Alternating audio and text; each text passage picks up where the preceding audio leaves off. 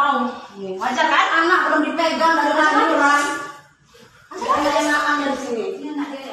Iya anak juga. Tiga anaknya. Baru. Baru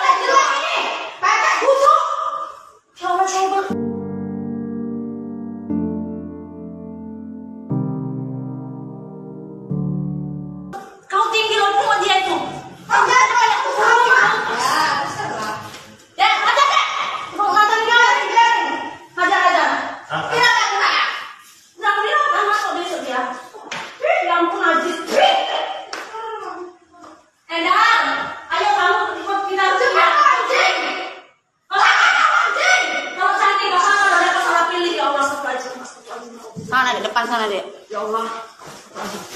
Sana depan dek. Sumpah